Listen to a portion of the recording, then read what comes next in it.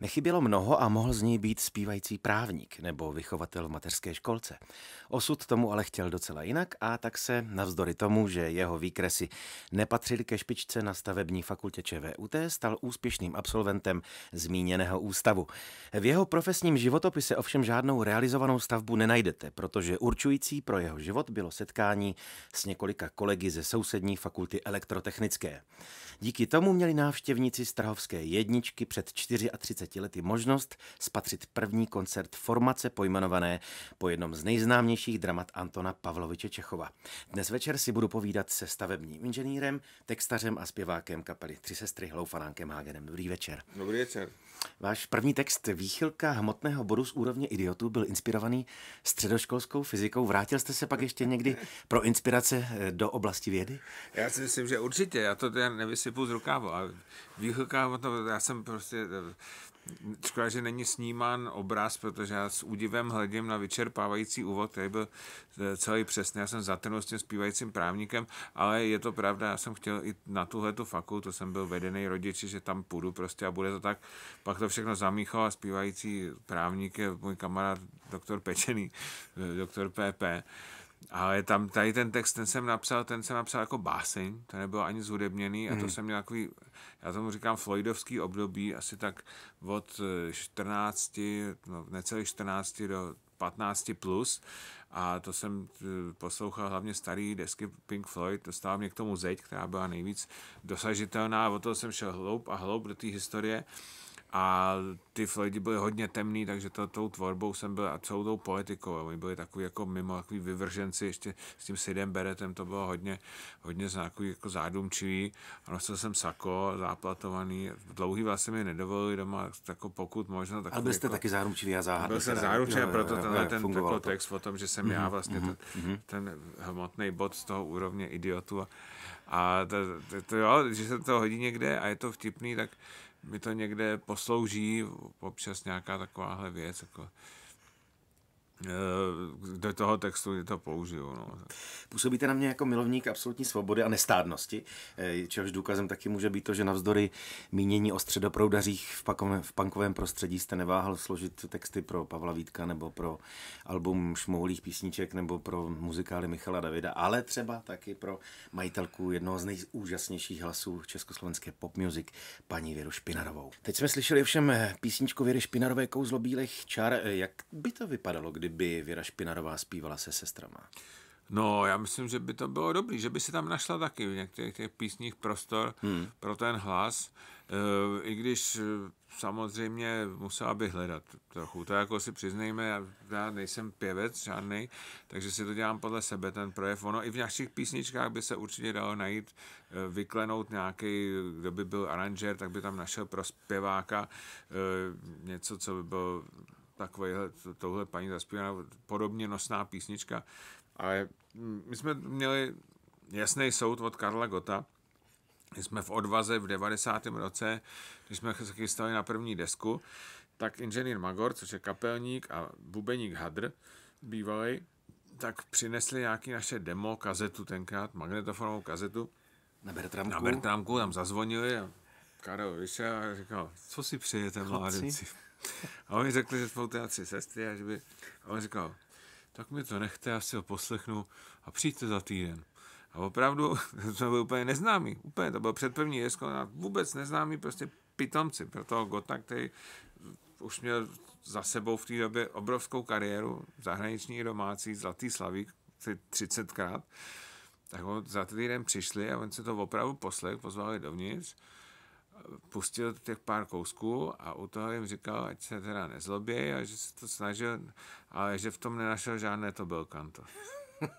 a v tom měl pravdu, si myslím. To měl pravdu naprostou, ale uh, tam jsme poprvé se setkali s fenoménem God, což jako, pak jsme to připomínali po 20 letech, Když vám křtil nám desku, vlastně. desku a právě vzpomínal tuhle historku a říkal, kde já mohl dneska být, kdybych tenkrát... Souhlasil. No, no, Myslíte si, že by to mělo nějaký smysl, nebo to byl spíš for, že to kluků Byl to pokus takový, on to pak zkoušel kde kdo v těch, po té revoluci toho Karla jako zainteresovat do těch skladeb. Propojit to nové s tím starým no, no, no, oficiálním, neoficiálním. Že máme Gota, protože ten God furt táhnul. Hmm. To bylo uh, řada těch zpěváků, jeho kolegů z té doby měli takový jako stop stav, pár let po revoluci, protože bylo takový opojení, že to starý už nebude, i ve filmech, že vůbec spousta zahraniční muziky. A že všechno, a hlavně, že z těch trezorů a ty zakázání, že plastici budou všude hrát, obrovský kvanta filmů bezvadných se začne točit všichni ty, a pak se ukázalo, že, ne, že to není tak úplně moc a že to starý taky je dobrý docela, takže se začali drhnout. Ale e, Karla tohle to myslím nepoznamenalo nějak výrazně. Ten, hmm. ten zůstal jako podstatě nevy, konstantní, nevyosen, ale ne, konstantní. Takže jako nám by to nějak nepomohlo, byla by to zajímavost a byli bychom první s tím, protože ty ostatní přišli 91, 92, ty různý duety a hmm. Eh, crossover, jak je teď moderní říkat. Ale tak my jsme se nakonec udělali po svém a když ne Karla, tak jsme nechtěli nikoho jiného. Samozřejmě, buď nejlepší nebo nikoho. No. Eh, při psaní textu pro sestry je, myslím, jasná dramaturgická linka nějakých přímých syrových veršů, kde nesmí chybět alkohol. Jak intenzivně se musí přepínat frekvenční slovník, když pracujete jako textař pro jiné interprety? No, je to tak, je to potřeba trošku to poupravit, ale někde se mi stávalo, eh, když jsem měl takovou, několik let jsem dělal třísestrovský desky, pokondrovský desky Aha. a muzikály s Michalem Davidem. Souběžně? Souběžně. Mnohdy to, to překrývalo mm. A já jsem třeba měl nějakou myšlenku, kterou se mi ve vzácných chvílích podařilo dostat do sester, do pokondru i do toho muzikálu. A každý to měl jiný výrazivo. Ten pokondr, ten jsem dělal takový jako, ten nemusel být ani neměl být tak osobitý jako úplně, že by to bylo z mýho srdce jako ty sestry. Mm-hmm. Mělo to být i odlišený, ale taková, já jsem to umyslně dělal jako komunální satiru ty věci, které tak jako byly ve společnosti a trošku jako floutkovský, takový ty vexláky, mm-hmm. ty rychlost bohatlíky a celá ta společnost prostě 90. let. To jsme do toho dostali, myslím, dobře. A potom ten muzikál, tam jsem si úmyslně jsem používal i nějaký archaický slova, protože mě to celý přijde jako opereta a že by to mělo být jako postaru já si nebudu představit, že bych dělal moderní muzikál. To, to, to, jednak tematicky a i výrazově, takže mi se to líbilo. Uh, takže jsem tu podobnou myšlenku vyjádřil třema různýma způsoby, který byly odlišný, ale bylo to to je nějaký... poměrně ekonomický způsob skládání, že jeden námět dokážu zpracovat do tří různých je, ale ten forem žánru. Musí, to, to jsou to tři texty stejně. Jo, jo, jo. Ten, ten, příběh je jako, ten, ta osa je, jako ten pocit nějaký z toho vyplývá jednotící, ale nedá se to, nedá se to jako využít, že bych vzal tady sloku a dal ji tam. Je někde uvnitř fanáka textaře taková ta ambice, aby bylo zřejmé po prvních verších, že to je váš text, aby ten posluchač si říkal, jo, tak tohle napsal fanánek? No to je vevnitř samo o sobě, protože já se to jako tak autocenzuru, aby to nemůžu napsat nic e, příliš abstraktního. Mm-hmm. To prostě neumím. Jako, já tomu říkám krasožvást, sebekriticky a takhle nazývám i texty některých uh, interpretů, který slyším a to je, to ne, to se mi nelíbí vůbec. Mm. To se mi nelíbí vůbec. Jste intuitivní psavec, ne, nebo to musíte poctivě vysedět? No, to nevím přesně, co by se tím dalo definovat jedním nebo druhým uh, pojmem, ale mě napadne, většinou ty naše písničky se dělám tak, že mě napadne nějaký nápad, žertovně nějaká slovní hříčka, mm. tu si třeba řeknu do telefonu, do toho záznamníku, který tam je, a pak to občas přesypu do počítače, to přepíšu, když jich mám víc těch nápadů a z toho se pak snažím udělat text okolo toho. No. Mm. To většinou jde, eh, až když mám nějakou muziku, abych věděl, tak nám dávat ty krátký, dlouhý, tak do toho to dělám. U muzikálu je to trošku jiný, tam vím zhruba téma, celý a jednotlivý ty písničky jsou k nějakému výjevu, obrazu. No, takže tam e, to je, tam zhruba vím o čo, dostanu se do toho a třeba tak intenzivních několik hodin tomu věnuju. Hmm. Hmm. Takže to není tak, myslel jsem u písniček, že jdu a najednou mám nápad, vidím eh, referent a rychle to celý zapíšu. Je to po fragmentech, skládá se to a... No, pak jako si s odstupem to ještě přečtu, poškrtám, něco hmm. vyměním, co je tam takový, jako, já to chci mít narychlo, jako co, co nejrychleji, co něco je tam právě už takový, že ta autocenzura je vypnutá trošku a že tam dám něco, co je pod úrovní a za hodinu si říkám, že je to hrozný. Jo. A takhle dopadly i pokusy, když jsem zkoušel psát podnapilej a to jsem pak střízlivý, jsem si říkal, že to jsou hrozný blbosti. Ale v tom stavu předešlém vám to, to připadalo, že to je geniální. geniální. No, jo, jo, opravdu geniální. Takže to byl obvyklý proces toho no, radního pohledu to na jsem tu... málo kdy, proto jsem to jako dal. To akorát, akorát nějaký akorát takovou korekturu jsem udělal u velký písně Onilu, která je jedna z mých nejoblíbenějších písní muzikálových z Kleopatry. Hmm. To je opravdu, to je pecka úžasná, úžasná. Eh, Michalem Davidem naspívaný demáč, jak to opravdu, to, s oblibou říkám, jak to žádná zpěvačka pak nezaspívala nikdy. Tam jsou opravdu ty polohy, je, je to moc dobrý. A to už jsem měl jako víceméně udělaný a přišel jsem od někud, až jsem si otevřel láhev vína a u toho jsem to jako dodělal. Poskládal spíš jako eh, co půjde kam. Takže to se dá ještě. Mm-hmm. A dopadlo to dobře, jo.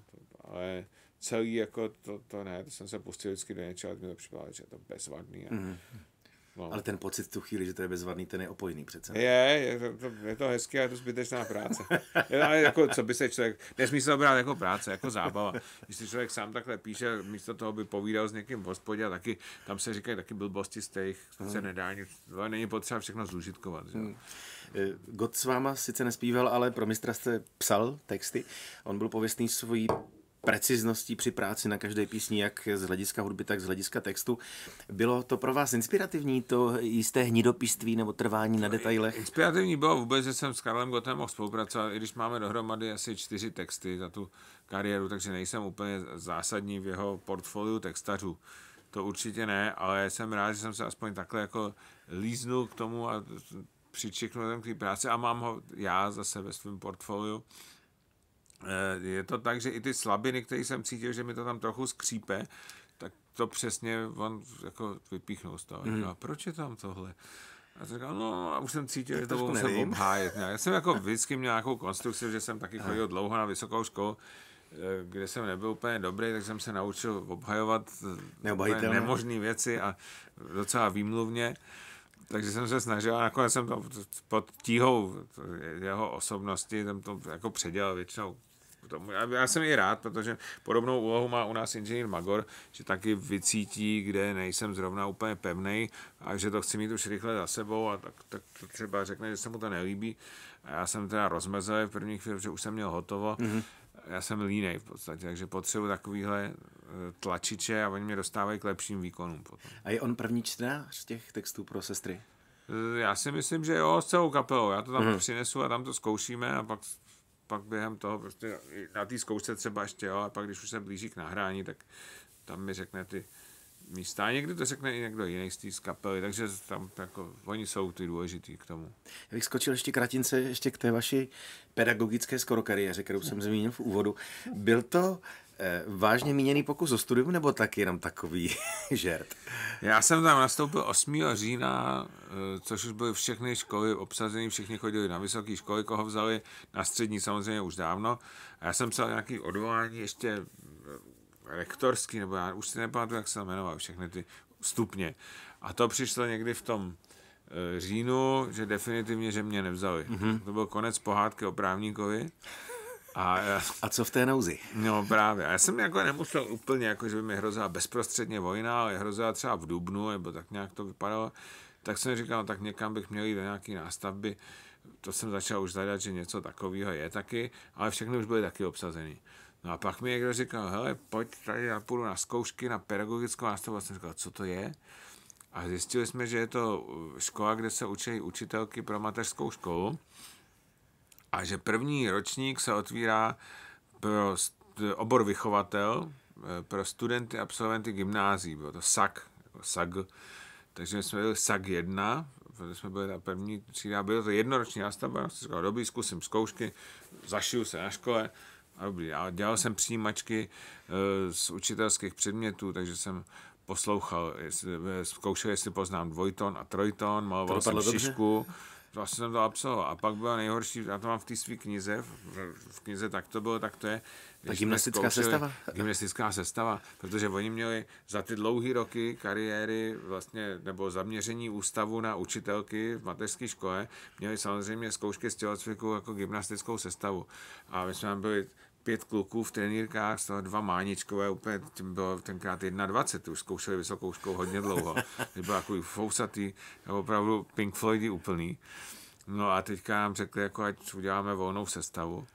No a my jsme to samozřejmě neuměli, tak nás ještě jako ponižovali a říkal nějaký tý holci, říkal, Blanko, pojď jim ukázat pár věcí a teďka tam, tam, tam točila takový to, jak to známe s tou stuhou a potom takový ty prostný a udělala nějaký hvězdy a pak poskočila a říkala, to byl skok čertík.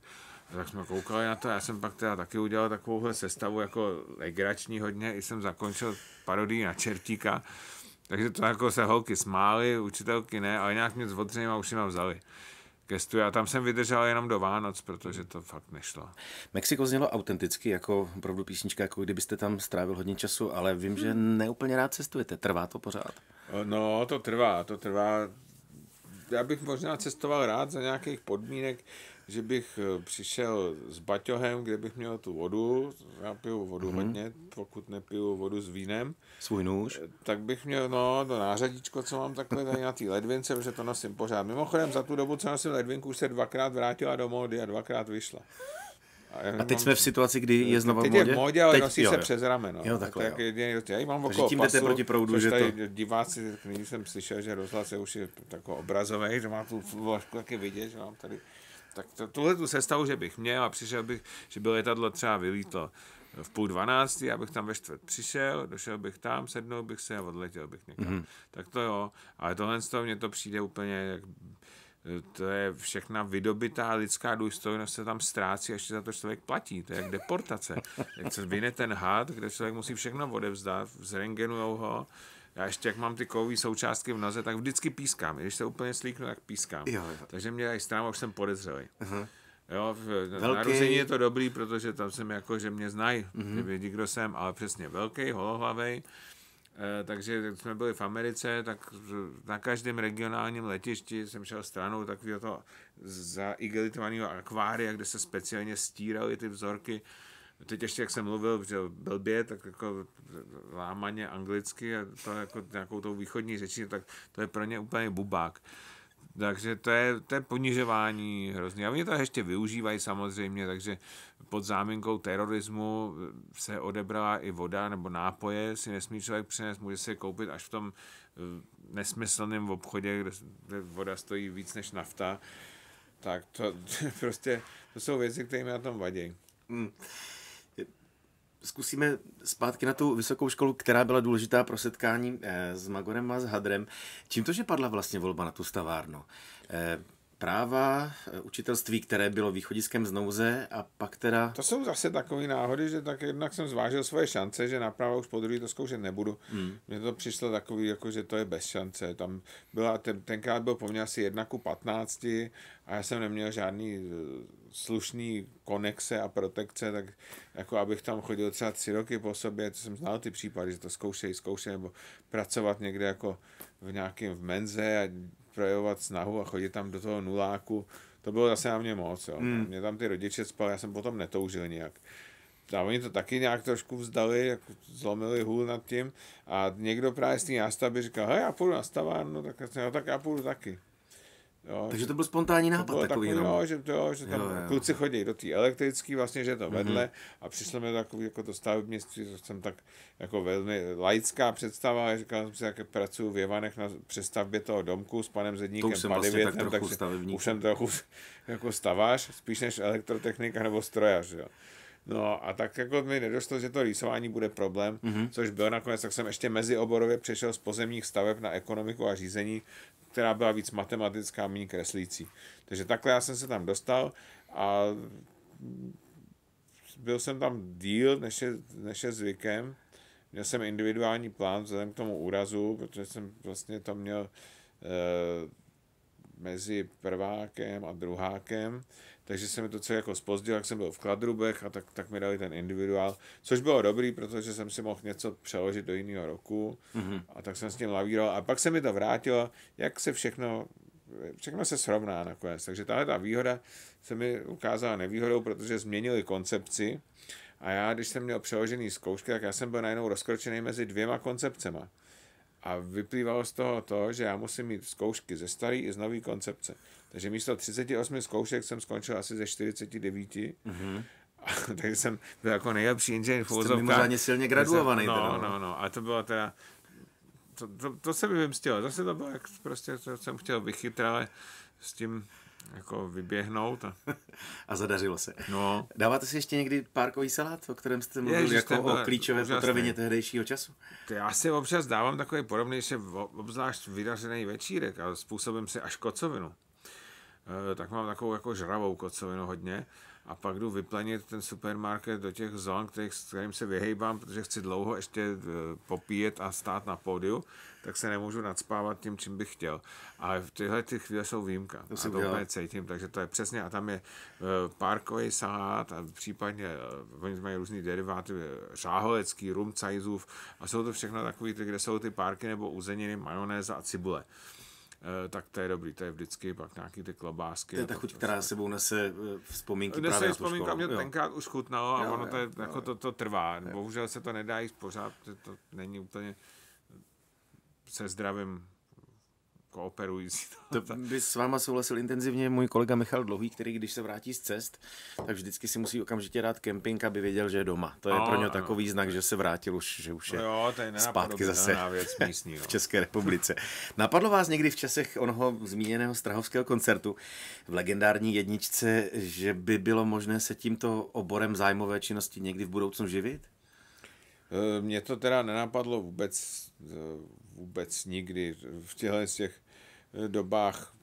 To vypadalo, že to je navždy zakletý, my jsme byli studenti, hráli jsme v rámci zájmové umělecké činnosti, což už bylo tak maximum, co jsme počítali, že se nám podaří nějak obelstít, aby jsme se nestali trnem v oku, takže budeme moct hrát, protože úplně, i když jsme hráli zadarmo, tak jsme museli mít toho zřizovatele a to razítko, Eh, takže to, to jsme si říkali, že budeme chodit do těch prací a po víkendech, jak někdo chodí hrát fotbal, tak to my jsme nehráli, tak protože budeme jezdit hrát a u toho pít nápoje a budeme jako ta parta těch jako hudebníků a intelektuálů v té době jsme byli takový ještě šmrncí tím, že si budeme tak jako mudrovat a takhle, že to bude dál.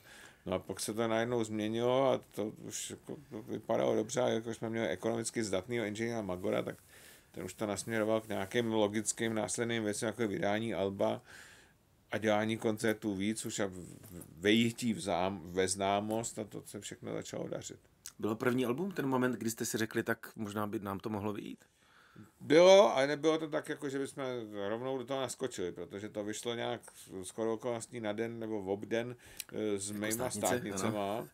A kluci ještě, nebo ty už chodili do práce a ještě furt byli v, pra- v zaměstnáních a mě ještě otec můj po těch státnicích, které já jsem měl opožděně v listopadu, tak eh, mě nutil, ať si seženu práci nějakou a sehnal mě dokonce od svého známého eh, práci, jakože bych u něj v rozvíjející se kapitalistické firmě, on tenkrát dělal do všeho ten známý, takže by i stavební četu mm-hmm. uživil. Tak jsem měl být vedoucí té stavební čety, no a to jsem tak nějak dával dohromady a pak jsme jednou jeli z nějakého třídenního hraní na Moravě a bylo to z neděle na pondělí a ty kluci, co chodili do práce, tak říkali, já, se asi, já tam asi už nebudu chodit.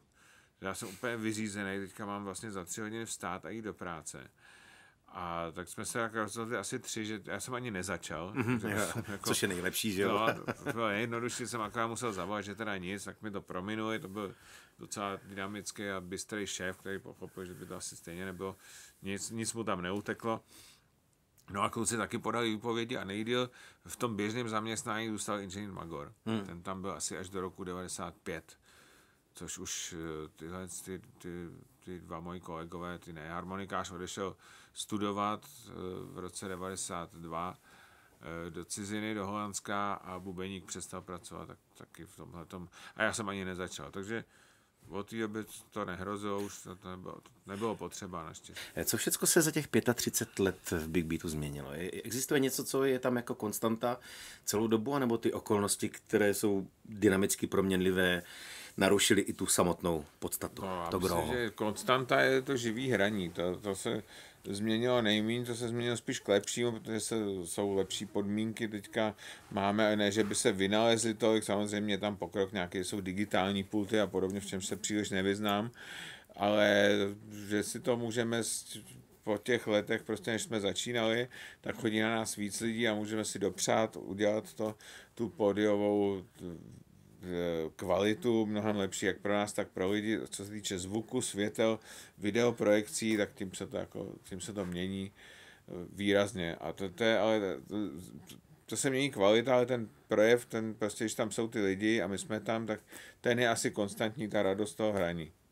Máte pocit, že tohle se nikdy nezmění, že, že ta živost je parametr, který nikdy nic nenahradí? Hmm, doufám, zatím to tak je. Zatím hmm. to tak je a je to úplně dobrý, protože se eh, byly doby, kdy se prodával, kdy ten hudebník vlastně našeho, eh, naší sorty se živil převážně eh, z mechanických prodejů té desky, kterou vydal jednou za rok nebo za dva a k tomu jakoby koncerty byly propagační a teďka je to obráceně. Teďka je hmm. CDčko propagace pro ty koncerty. Hmm.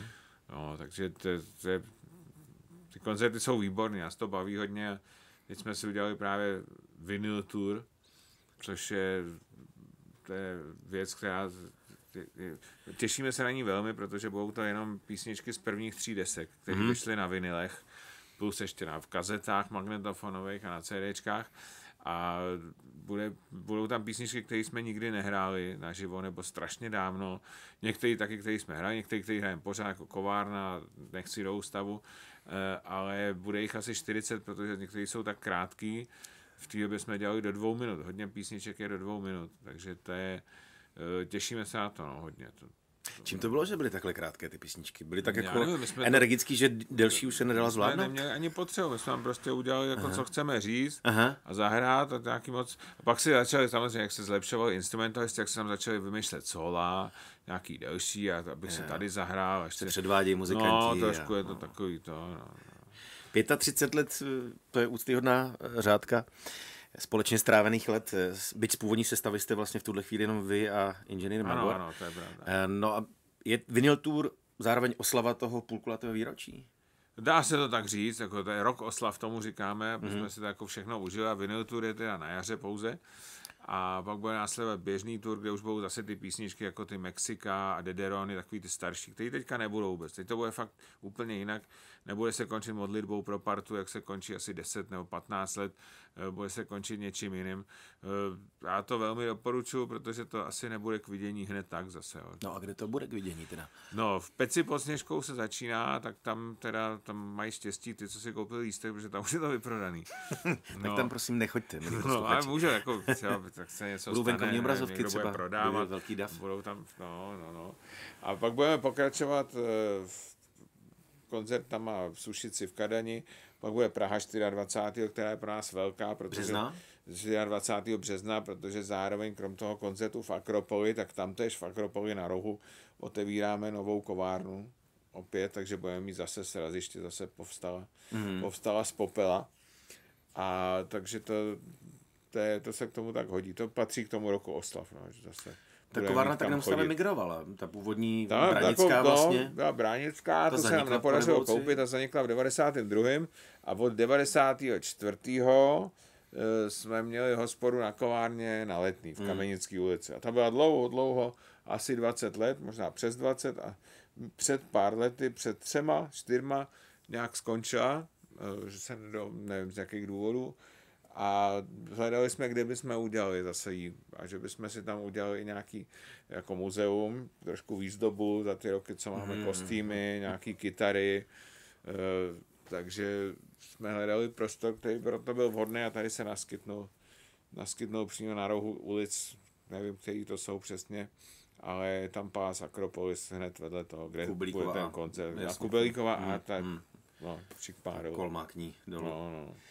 Vaše koncerty vyžadují podle mého soudu poměrně velkou dávku energie. Eh, nikdo, asi jenom s výjimkou Rolling Stones, ale se, mm, myslím, nevyhne nějakému eh, stárnutí nebo chřadnutí.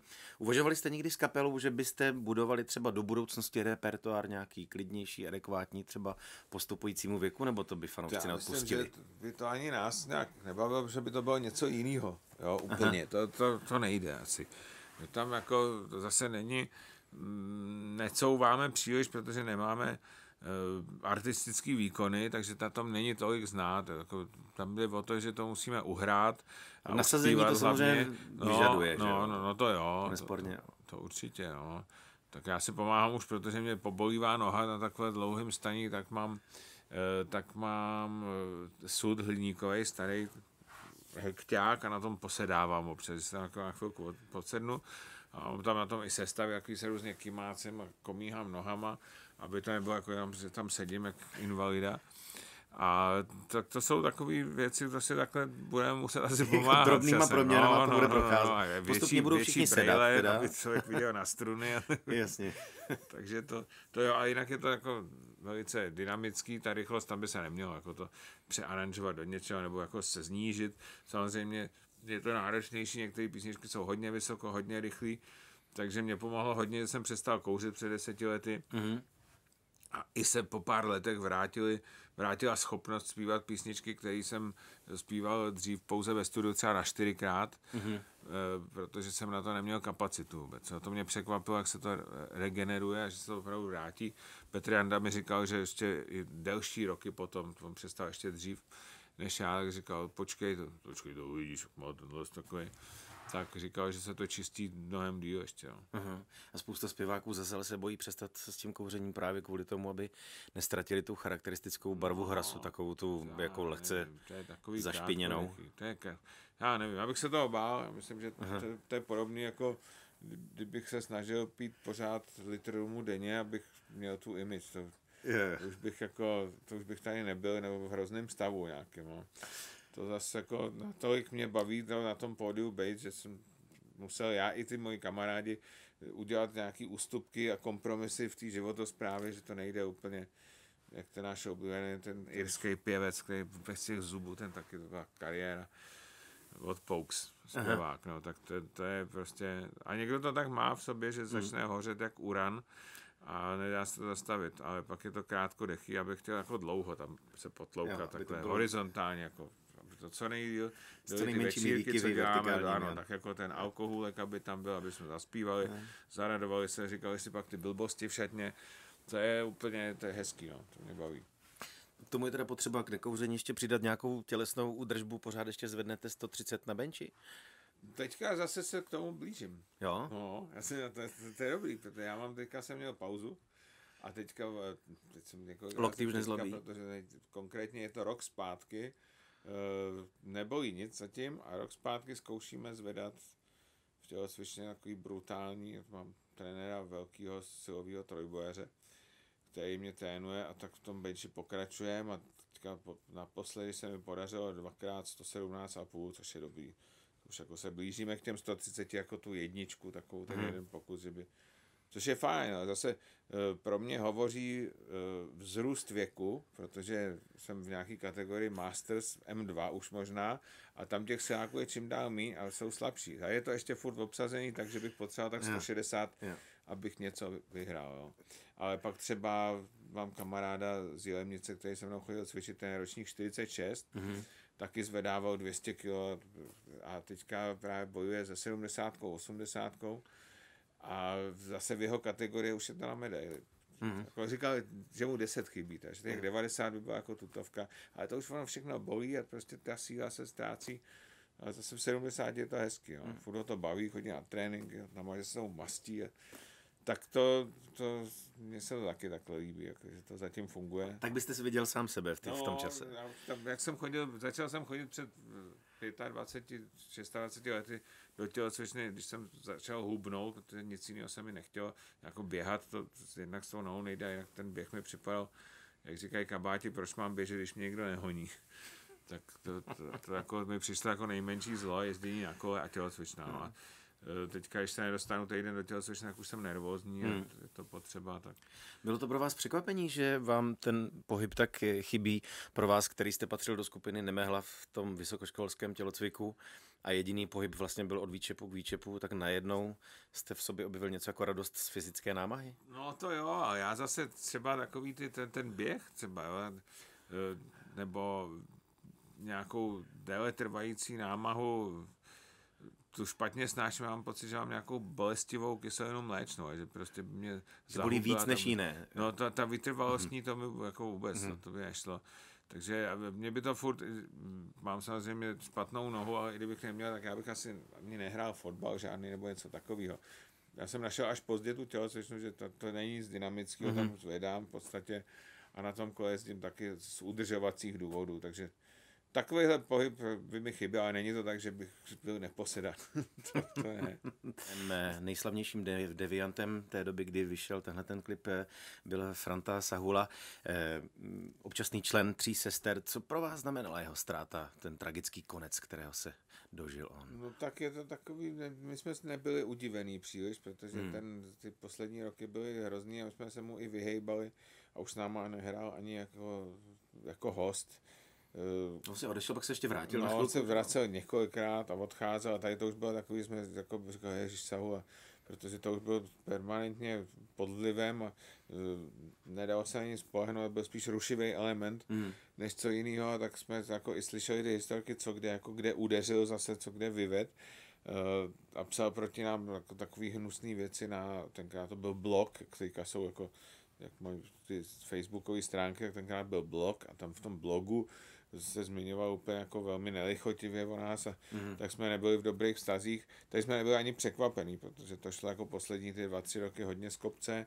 nebo jako, tak jsme říkali, no, tak to, to jako, byl to tak nějak šok, že zrovna takhle, pak jsme zjistili ty podrobnosti, a pak to samozřejmě se zahladí a už by nám jako chyběl, že jsme jako už pár let potom rádi jsme vzpomínali spíš na to dobrý, že vymyslel písničky dobrý, jo, ty nápady, některé jako forky, jako ty pitomosti, co se s ním táhly, mm. e, takže to by bylo jako, no, je, je to takový hodně bizarní celý, jako ty neznámí lidi, kteří mu takhle zaškodili, co, co vlastně znali z hospody asi mm. hodinu předtím, celý takový, jako by to bylo nějak napsaný už, jo? kdyby všichni ty lidi, co, co je zklamal a co ho prokleli, tak kdyby to způsobili tak, ta kledba, že by sešla v podobě těchto těch dvou hmm. naprosto neznámých lidí, kteří taky měli možná nějaký škrálob karmický, těžko říct, to, to jako uvažuji jenom jako,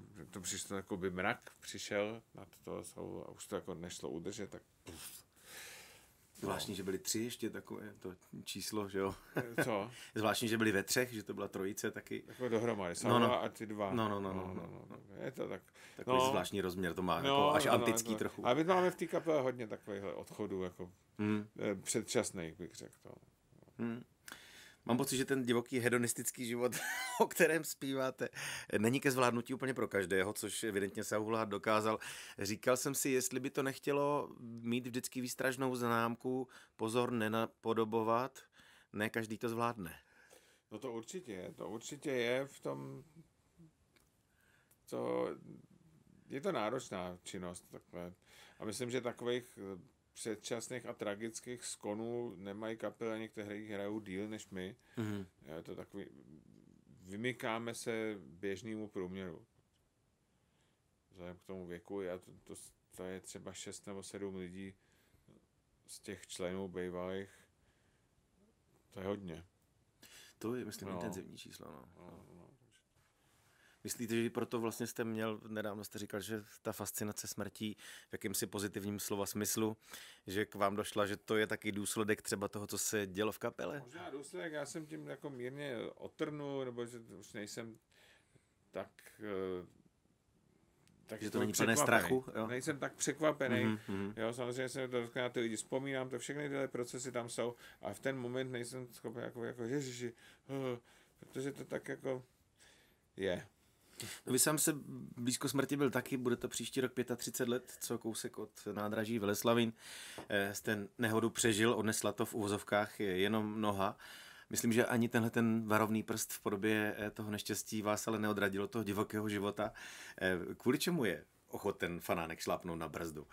Když no, i... byl to divočejší život. Já myslím, že i tohle to mě i tím omezením trošku srovnalo. Jako to, já jsem, to, to, to bylo jako dynamičtější celý pod vlivem. Samozřejmě jsem se dostal do nějakého jiného do nějaký čertoviny a pak jsem vymýšlel ty blbosti, tak to se mírně sklidnilo, ale zase ne úplně no, šlápnout na brzdu. Ono se to jako tím věkem trošku rovná všechno, bych mm. řekl. A nechci říct, že by člověk úplně skončil nebo se nějak překabátil v něco jiného, to asi nejde, ale tak nějak by to mělo být uměrný. Ono něco je i pak směšný, když se to dělá neuměrně k tomu věku. Já si myslím, že furt jsem vzhledem ke svým vrstevníkům exot, ale nemusím být zase úplný. V těch posledních chvílích, které nám zbývají s fanákem, se ho ještě zeptám, v jaké formě by ideálně měly být sestry za pět nebo deset let? Byl bych spokojený, kdyby to bylo jako teď. Myslím to. To by bylo fajn. Teď je nám spolu tak jako dobře, tvoříme si hezky, kovárnu budeme mít, hmm. vinyl tour je, letní turné připravený, desku chystáme, tak eh, to by mohlo být takové, aby bylo hůř hlavně. Líp může být klidně, to bychom jo. asi snesli. Ale, jste, prožíváte teď hezký období. Teď je to dobrý, teď je to dobrý, takhle kdyby se to jako mm-hmm. zamrazilo na nějakou dobu, tak by to šlo. Máte nějaký návod, jak to udržet po 35 let, tu hygienu vztahovou, aniž by se to pokazilo a bylo to takhle po 35 letech dobrý? Já to nevím, to si myslím, že jde mimo nás, protože tak myslím, že jsme měli různý rozpory a takový horší období a všechno jsme překonali. Já si myslím, že je to tím, že se máme rádi. A mají na tom zásluhu i fanoušci? No fanoušci samozřejmě jsou jako živnou eh, hmotou, která to dělá, protože potřebujeme ten smích a to, jak dělají hoj, hoj. A to, to, prostě na tom je umělec činej úplně postavený a odkojený a potřebuje to, aby to zahyne. Kdyby měl peněz spoustu, tak bez živého nejde. No a s tím se my s vámi, milí posluchači, dnes eh, v úterý v noční mikrofonu loučíme. Přejeme příjemnou dobrou noc. Dobrou noc. Český rozhlas dvojka. Rádio, které vás baví.